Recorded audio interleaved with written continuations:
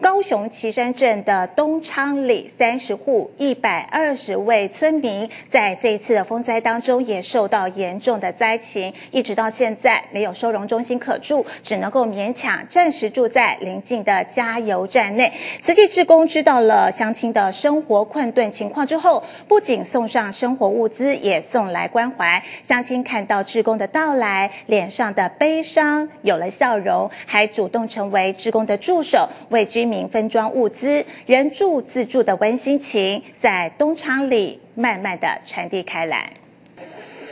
接力奔向爱的物资，乡亲成了志工的好帮手。满车的香鸡饭和生活用品，代表慈济志工的满满心意。这温情传到了东仓里，对不对？后面一二三，是不是？好，对，然后把那个十个包拿来这里。居民珍惜得来不易的物资援助，因为三十户一百二十人灾后生活困顿，所有人挤在加油站的一角，家当堆满地，木架纸板勉强成床，有了遮风避雨的地方，现在更有了慈济人的爱，艰苦中带来了希望。慈济就是因为行第一线，因为从头前效率做会出来。